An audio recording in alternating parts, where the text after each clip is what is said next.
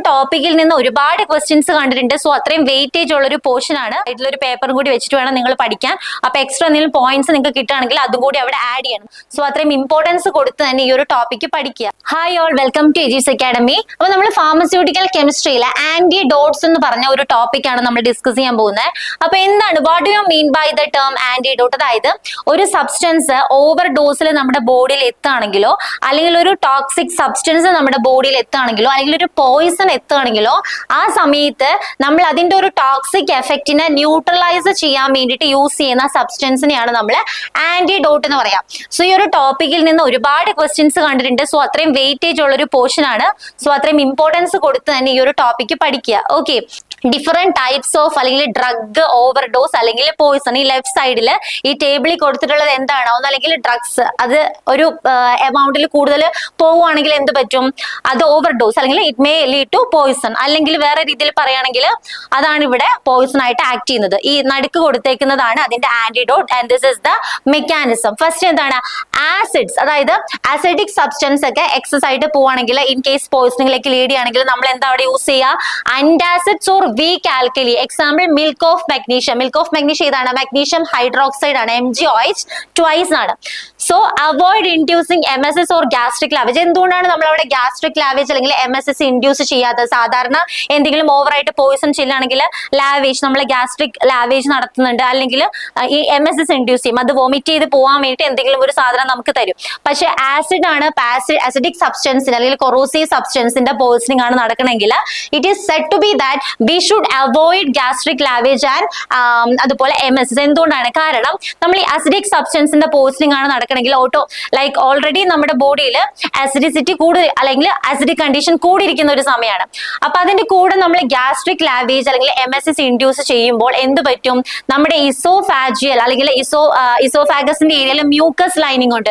ഈ mucus ലൈനിങ്ങിൽ erosion വരാനുള്ള സാധ്യതയുണ്ട്. അപ്പൊ കുറച്ചും കൂടി എന്ത് ചെയ്യും? അതിന്റെ സൈഡിൽ നിന്ന് ഇത് ഷെഡ് ചെയ്ത് പോകാൻ അല്ലെങ്കിൽ അവിടെ കുറച്ചും കൂടി പൊള്ളലൊക്കെ വരാൻ കൊറോഷൻ വരാനുള്ള ഒരു ചാൻസ് ഉണ്ട്. അതുകൊണ്ടാണ് ആസിഡിക് സബ്സ്റ്റൻസിന്റെ പോയിസണിങ് ആണെങ്കിൽ we should avoid gastric lavage and അതുപോലെ എം എസ് എസ് അപ്പൊ ആ കേസിലെ മെക്കാനിസം എന്ന് പറഞ്ഞാൽ കെമിക്കൽ ആന്റഗോണിസ് ആണ്. കെമിക്കൽ നേച്ചർ കംപ്ലീറ്റ് ആയിട്ട് മാറ്റിക്കളയാണ് ചെയ്യുന്നത്. അതായത് ആസിഡ് ആണ്. അപ്പൊ നമ്മൾ എന്ത് ചെയ്യും? അന്റാസിഡ് അല്ലെങ്കിൽ ഒരു ആൽക്കലൈൻ സബ്സ്റ്റൻസ് കൊടുത്തിട്ടായിരിക്കും അതിനെ കൗണ്ടറാക്ട് ചെയ്യുക. ഇനി ആൽക്കലി സബ്സ്റ്റൻസ് വെച്ചിട്ടാണ് അല്ലെങ്കിൽ ആൽക്കലീസിന്റെ പോസണിങ് ആണെങ്കിൽ എന്താ? നമ്മളൊരു വീക്ക് ആസിഡ് ആണ് യൂസ് ചെയ്യുക. Commonly lemon juice or diluted vinegar അവിടെയും എന്താണ്? കെമിക്കൽ ആന്റഗോൺസ് ആണ്. ഓപ്പോസിറ്റ് ആക്ഷൻ ആണ് അവിടെ വരിക. അടുത്തത് അയൺ സോൾട്ട് അത് കോമൺ ആയിട്ട് അല്ലെങ്കിൽ ഇമ്പോർട്ടന്റ് ആയിട്ട് ചോദിച്ചിട്ടുള്ള ഒരു ക്വസ്റ്റ്യൻ ആണ്. ഡെസ്ഫറിയോക്സാമിൻ അല്ലെങ്കിൽ ഡെസ്ഫെറോക്സാമിൻ എന്നും പറയാം. അവിടെ നമ്മൾ യൂസ് ചെയ്യുന്നത് ഏതാണ്? ഡെസ്ഫറിയോക്സാമിൻ ഓർ ഡെസ്ഫോറാക്സാമിൻ എന്തിനാണ് അയൺ സോൾട്ട് പോയിസണിങ് അല്ലെങ്കിൽ അയൺ പോയിസൺ അല്ലെങ്കിൽ അയൺ ടോക്സിറ്റിന്റെ കേസ് ആണെങ്കിൽ നമ്മൾ യൂസ് ചെയ്യുന്ന ആന്റിഡോട്ട് ആണ് ഡെസ്ഫറിയോക്സാമിൻ ഓർ ഡെസ്ഫോറാക്സാമിൻ അവിടെ ചിലേഷൻ ആണ് സംഭവിക്കുക. ഒരു കോംപ്ലക്സ് ഫോർമേഷൻ ആണ്. നമ്മൾ ഈ ഡെസ്ഫറിയോക്സാമിനും നമ്മുടെ അയൺ അയൺ അയോൺസും ഫെറിക് അല്ലെങ്കിൽ ഫെറസ് അയോൺസ് തമ്മിൽ ഒരു കോംപ്ലക്സ് ഫോം ചെയ്തിട്ട് നമ്മൾ അതിനെ like we will render it into inactive അല്ലെങ്കിൽ ഹാംലെസ് കോമ്പൗണ്ട് ആയിട്ട് മാറ്റും. ഇനി കോപ്പർ അല്ലെങ്കിൽ ലെഡ് സോൾട്ട് അതായത് ഹെവി മെറ്റൽസ് കോപ്പർ ലെഡിന്റെ ഒക്കെ കേസിൽ എന്താണ്? പെൻസിലാമിൻ അല്ലെങ്കിൽ ഡൈമർ കാപ്രോൾ ആണ് നമ്മൾ ആന്റിഡോട്ട് ആയിട്ട് യൂസ് ചെയ്യുക. അവിടെയും എന്താണ്? ചിലേഷൻ ആണ് അതിന്റെ മെക്കാനിസം ഇനി മെർക്യൂറി സോൾട്ട് ആണെങ്കിൽ എന്താണ്? ഡൈമർ കാപ്രോൾ ആണ് നമ്മൾ യൂസ് ചെയ്യുക. ഡൈമർ കാപ്രോൾ അല്ലെങ്കിൽ ബി എ എൽ എന്താണ് B A L British anti lewisite ആണ് B A L B L full form എന്താണ്? ബ്രിട്ടീഷ് ആന്റി ല്യൂവിസൈറ്റ് ഇപ്പൊ മെർക്കുറി സോൾട്ട്സിന്റെ കേസിൽ നമ്മൾ യൂസ് ചെയ്യുന്ന ആന്റിഡോട്ട് ആണ് ഡൈമർ കാപ്രോൾ. അവിടെയും എന്താണ്? ചിലേഷൻ ആണ്. സോ ആസിഡ്സിന്റെ കേസിൽ അൻഡാസിഡ്സ് ആണ്. ആൽക്കലീസിന്റെ കേസിൽ വീക്ക് ആസിഡ്സ് ആണ് ലൈക്ക് ലെമൺ ജ്യൂസ് വിനെഗർ ഒക്കെ. അതിനകത്തൊക്കെ ഒരു ആസിഡ് ഉണ്ടല്ലോ. ഇപ്പൊ ലെമൺ ജ്യൂസ് ആണെങ്കിൽ സിട്രിക് ആസിഡ് ഉണ്ട് വിനെഗർ ആണെങ്കിൽ അസിഡിക് ആസിഡ് ഉണ്ട്. അപ്പൊ അതൊക്കെ വീക്ക് ആസിഡ്സ് ആണ്. നമ്മുടെ സൾഫ്യൂരിക് ആസിഡ് ഹൈഡ്രോക്ലോറിക് ആസിഡ് ഒക്കെയാണ് സ്ട്രോങ് ആസിഡ്സ് അപ്പൊ ഒരിക്കലും നമുക്ക് ഡയറക്റ്റ് കൺസ്യൂം ചെയ്യാൻ പറ്റില്ല അപ്പൊ അതുകൊണ്ട് അസിഡിക് നേച്ചർ കുറഞ്ഞ ആസിഡ്സ് ആയിരിക്കും നമ്മൾ യൂസ് ചെയ്യുക. അയൺ സോൾട്ടിന്റെ കേസിൽ യൂസ് ചെയ്യുന്ന ആന്റിഡോട്ട് ഏതാണ്? ഡെസ് ഫോർ യു എക്സാമിൻ അല്ലെങ്കിൽ ഡെസ്ഫോർ എക്സാമിൻ ആണ് നമ്മൾ യൂസ് ചെയ്യുക. Coming to the copper and lead സോൾസിന്റെ കേസിൽ ഏതാണ്? Penicillamine and dimercaprol mercury സോൾസിന്റെ കേസിൽ ഡൈമർ കാപ്രോൾ തന്നെയാണ് യൂസ് ചെയ്യുന്നത്. അല്ലെങ്കിൽ അതിന്റെ വേറെ പേര് എന്താണ് British anti lewisite or B L അടുത്തത് ഏതാണ്? ഒപ്പിയോയിഡ്സ് ഒപ്പിയോയിഡ്സ് നമുക്കറിയാം. നമ്മുടെ നാലെക്സോൺ ആൻഡ് നാൽട്രക്സോൺ അത് ഒപ്പിയോഡ് ആന്റഗോണിസ്റ്റ് ആണ്. അപ്പോൾ ഒപ്പിയോയിഡ്സിന്റെ കേസിൽ നമ്മൾ യൂസ് ചെയ്യുന്ന അതിന്റെ തന്നെ ആന്റഗോണിസ്റ്റിക് ഡ്രഗ് ആയിട്ടുള്ള നാലക്സോൺ ആൻഡ് നാൽട്രക്സോൺ. റിപ്പീറ്റഡ് ആയിട്ട് ചോദിച്ചിട്ടുണ്ട്. ഈ കഴിഞ്ഞ ഏതോ ഒരു പി എസ് സിക്ക് കഴിഞ്ഞ ഇടയ്ക്ക് കുറെ പി എസ് സി കഴിഞ്ഞല്ലോ. അതിലൊരു ക്വസ്റ്റ്യനിൽ ക്വസ്റ്റ്യൻ പേപ്പറിൽ ഉണ്ടായിരുന്നു. നാലക്സോൺ ആൻഡ് നാൽട്രക്സോൺ എന്താണ്? ഒപ്പിയോഡ് ആന്റഗോണിസ്റ്റ് ആണ്. That is they are mu receptor antagonist ഇനി ബെൻസോ ഡയസപ്പിന്റെ ആന്റഗോണിസ്റ്റ് ഏതാണ്? ചിലപ്പോൾ ബെൻസോ ഡയസപ്പിൻ ചോദിക്കാം. അല്ലെങ്കിൽ ഏതെങ്കിലും ഒരു സ്പെസിഫിക് ബെൻസോ ഡയസപ്പിൻ ഡ്രഗ് വേണമെങ്കിൽ ചോദിക്കാം. അല്ലെങ്കിൽ ബി എസ് എൽ ടി എന്ന് വേണമെങ്കിൽ ചോദിക്കാം. അപ്പൊ ഓർത്തു വെക്കുക ഇതിന്റെയൊക്കെ അന്റഗോണിസ്റ്റ് ഏതാണ്? ഫ്ലുമാസെനിൽ ബെൻസോഡൈസപ്പിന്റെ അന്റഗോണിസ്റ്റ് ആണ് flumazenil.